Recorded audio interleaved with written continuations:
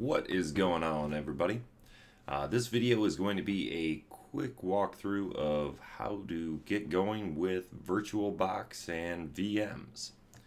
Uh, so why would you want to use virtual machines?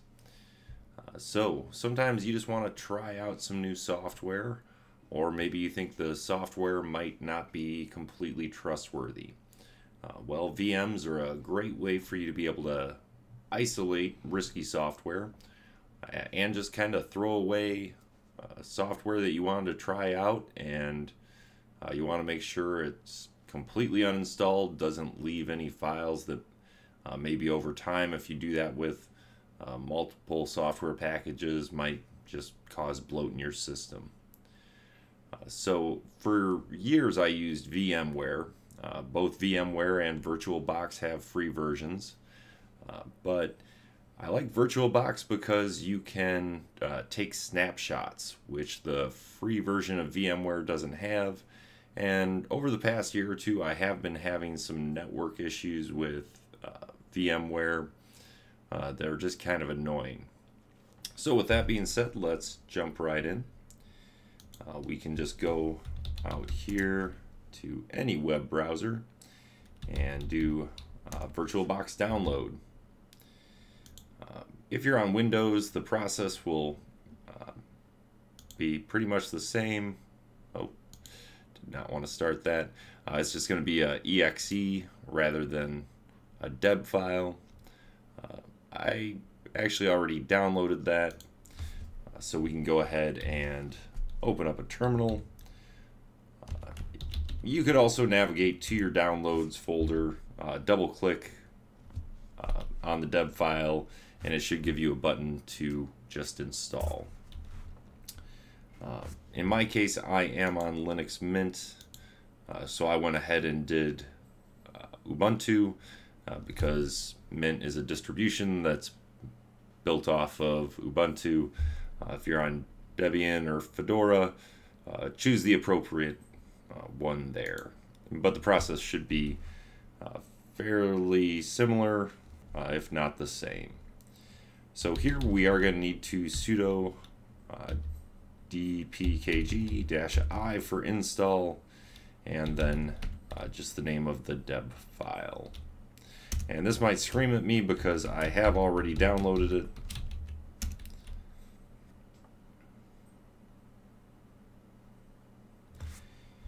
And that should just take a few moments to run. And once you're done, it probably still will not show up in the start menu. Uh, but if you just do a reboot, it should then show up there. Uh, now, spoiler, it's not going to run here. Uh, why? Because I am actually in a VM currently.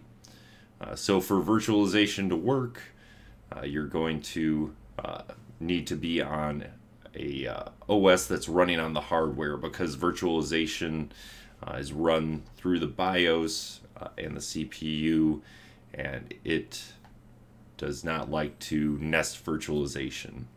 Uh, you'll probably run into that if you try to run something like Docker Desktop for Windows in a VM. I know I've encountered that. Um, but that being said, let's go ahead and switch back to um, my main host here. And you can see I was on Linux Mint, the VM there. Uh, so this is what you should see when you start VirtualBox minus uh, my existing VMs here. And to get going, uh, you'll just want to download an ISO. Uh, that could be Windows, uh, any flavor of Linux you'd like. And then uh, just go to create virtual machine. Uh, you can call this whatever you'd like. I'm just going to call this delete this uh, because I will delete this after the video. And let's see here. Uh, want to actually go to one of my uh, secondary drives and I'll put this um, on a secondary NVMe that I have. Uh, for the ISO, I know I recently downloaded uh, Linux Mint. That was seven days ago, so that should still be relatively fresh. Notice it was smart enough to say, oh, this ISO looks like Ubuntu of type Linux. And you can go ahead and skip the um, unattended installation. That would just ask us for a username or password that we don't really need. Okay, here you're going to set the CPU cores and the amount of memory. Uh, depending on what your system has, uh, you know, you're going to want to set that accordingly. And also look at the uh, system requirements for the operating system you are uh, going to run. And you can, again, increase or lower this uh, however you'd like. I'll go ahead and leave this at uh, 25 gigs because I know Linux Mint needs around 16 and then that would just give us extra space for any kind of additional software we'd like to install. So once that starts up, uh, we're just going to start Linux Mint.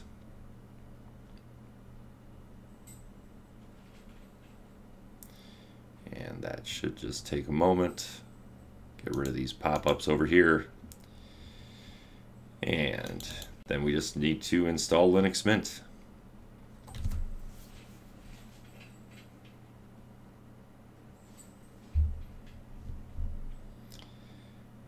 And don't worry, we'll take care of the small box here in just a little bit. You will not need to uh, run your VM in this small box the whole time.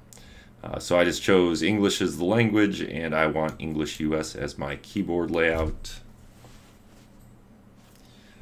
I'm going to go ahead and not install the multimedia codecs. Again, depending on what you're doing, what you're using it for, uh, you might want those. If you're doing straight programming, things like that, probably won't need it, and that'll just make our installation go faster. Um, erase disk. Again, this is the virtual disk, uh, not the disk on your physical PC, so uh, don't worry about losing that data. I'm closest to Chicago, so I will go ahead and choose that location. Uh, I will put my name as Gary. I'll leave that as the default. Usually I like to choose something, I don't know, with a little bit more character. Sometimes I I call it like HP printer something like that. Actually, we could do that.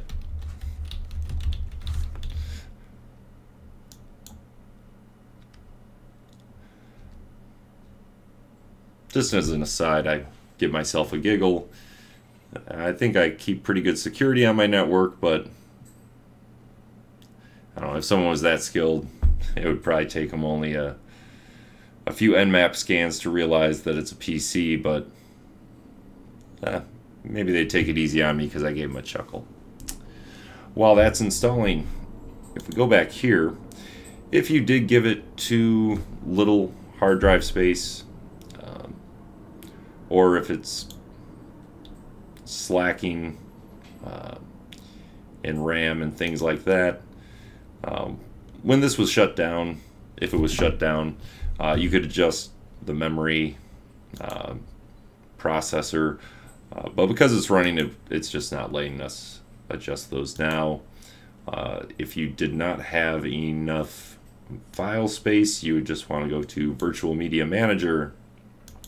You see we have delete this, and here you would just slide, apply, start it back up again, and then uh, do the installation from there.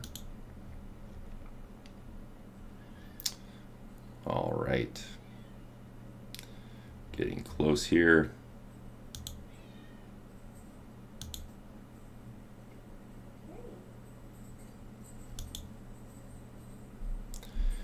And that might take a few minutes, so let me cut it off here and I will come back as soon as this is finished installing. Okay, that wasn't too bad, just a few minutes, and we will restart now. And press enter. That should fire right back up. Well, I guess depending on how much RAM you gave it. Uh, but Linux is great like that. Uh, usually a little bit uh, quicker than other unnamed operating systems. So,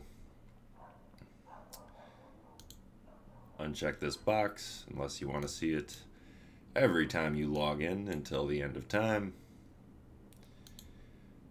And we are going to uh, choose a disk file. Actually, I wanted to insert guest addition CD image. My apologies.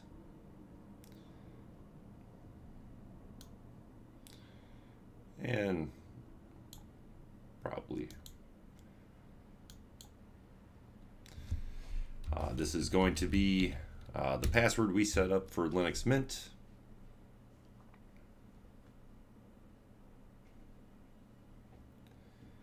And that should just take another moment or two to run.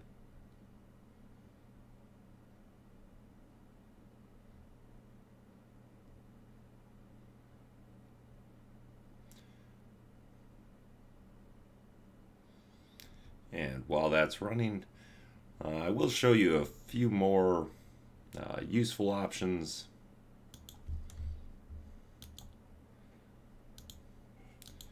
And let's see, do I need to, ah, awesome, I don't need to reboot. So notice, just give it a wiggle. Um, it's not too annoying. I haven't figured out a way to fix that yet. Uh, but you do have full screen. And notice we have updates. Uh, even though the ISO that we used was just a few days old. Um, but we'll shut down for the moment. And if I go to here,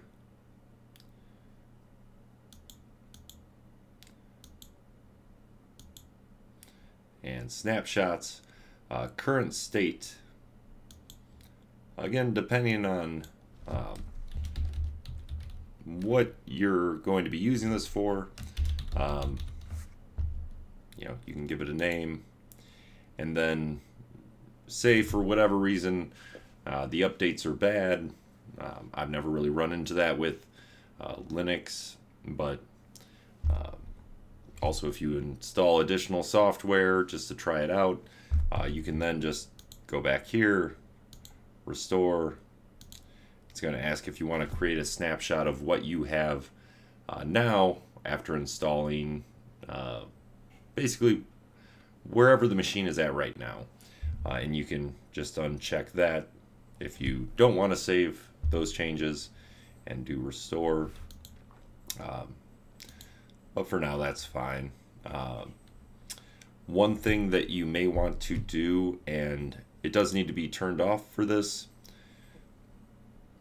if you go to uh, advanced, uh, shared clipboard, host to guest, guest to host, uh, host being your home PC.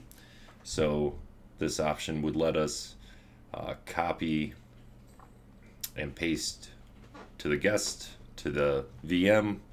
Uh, this would let us just copy from the VM to the host. This lets us do it both ways.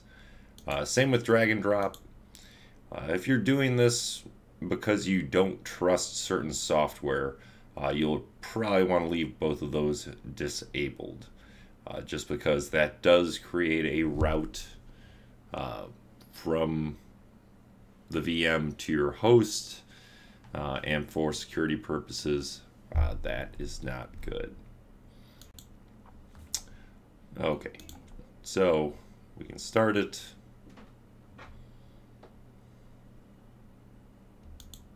Close those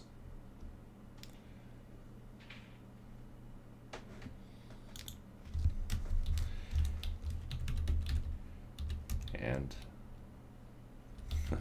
I typed password wrong. Uh, that's nice, it went to full screen. I don't know if it's ever really done that uh, without me having to wiggle it. Uh, but, let's see. One other thing I would like to show, this probably doesn't even have Chrome So what I like to do is I like to download, install Chrome, uh, Visual Studio Code, uh, maybe the G-Cloud SDK, uh, and then just kind of take a snapshot uh, before I start experimenting. Um, if uh, you wanted to do uh, Windows evaluation,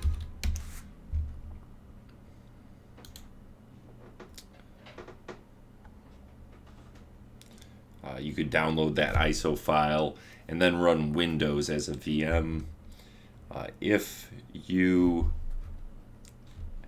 uh, have a product key, you could also use that product key to activate um, an actual full version of Windows. And I guess that would be a good tip, something I ran into. Uh, because when they manufacture PCs now that ship with Windows, they actually embed the key uh, or the product key for Windows into the the motherboard, uh, so that if for whatever reason you need to reinstall Windows, it can look at that and use that product key and knows you're legit. Um, and I ran into this not too long ago where I had installed completely over Windows, uh, but I said, hey, I think that product key from seven years ago is still good. Uh, and OEM, I think that's original equipment manufacturer. You would just run this command which we are in a VM, so it won't give us any output.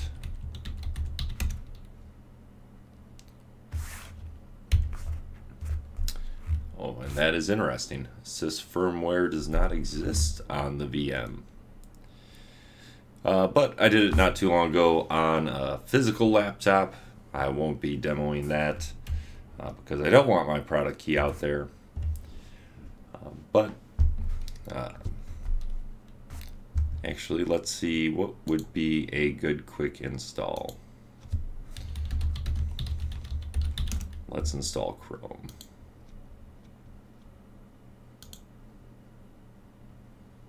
Debian Ubuntu, accept and install. That should just take a moment.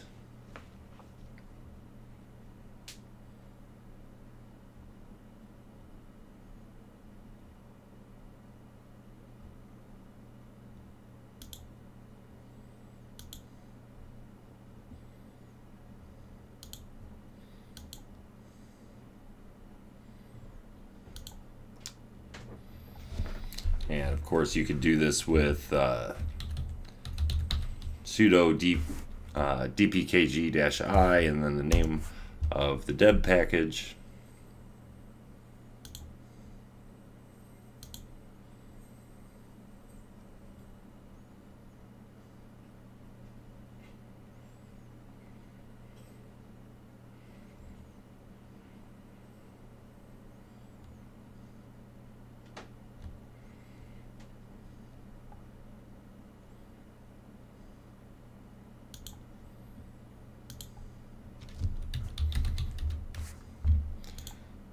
Again, it's probably going to make me uh, restart before that shows up in the start menu.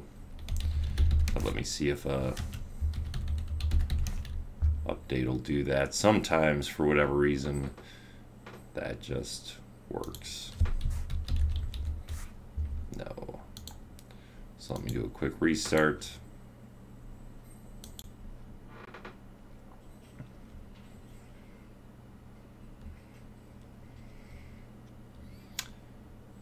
While that's coming up. I will say, um, as I said, I was on VMware for a very long time. Uh, I don't remember why, but probably five years ago, I was having all kinds of trouble with uh, VirtualBox.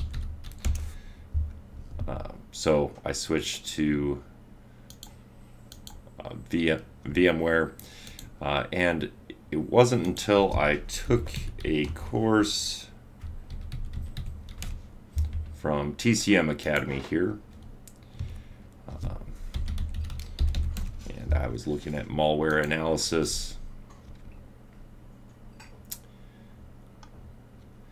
And let's see, I'm looking to give credit here.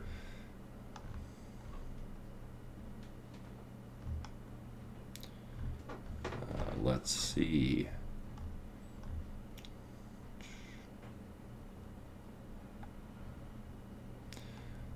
Oh, I wish it gave the name. Uh, but much credit due to uh, the author of uh, this course. Uh, a lot of the setup I just showed here, I learned uh, from this course. He goes into much more detail on how to isolate your um, your virtual box environment, uh, make it safe for running malware, uh, detonating malware. Uh, so if you are interested in things like that, I would highly recommend this course. Uh, as always, give credit where credit is due. Uh, and one last thing we will show, we are running Google Chrome, but if we go ahead and come back here to our virtual machines, and I'm going to restore I will not create a snapshot and go ahead and start again.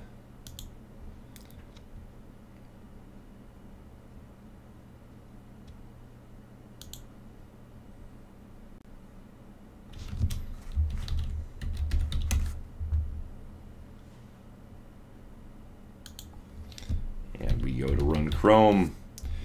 There is no Chrome because we installed it after the snapshot that we reverted to. Uh, so that is all for this video. Hopefully you find this of utility. Again, uh, if you want to try out software that's not necessarily trustworthy or uh, you want to try out just new software that you'll never use again and don't want it hanging out on your host operating system, uh, VMs are a great tool to have at your disposal. Um, also, kind of goes into the cloud a bit, just in spirit, where if I make a VM in the cloud, uh, there are ways to kind of uh, checkpoint save states and just kind of getting used to that uh, capability, I think, is very important. Um, but that's all for this video, and I will see you in the next one.